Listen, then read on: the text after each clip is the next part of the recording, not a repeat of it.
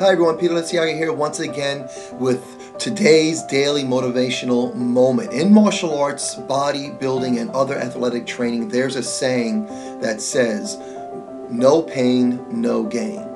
If you're going to work out, you've got to be prepared to feel the burn in your muscles. The challenge of push-ups, running, cycling, kicking, and hard training lifting weights or any other exercise is what builds a strong and healthy body. Personal challenges help to build a strong and healthy mind and spirit.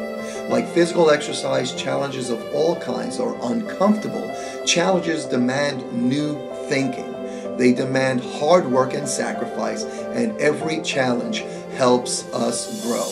Life itself is a challenge. Just the fact that we're here we says that we've survived challenges and that we've become pretty good already in meeting the challenges.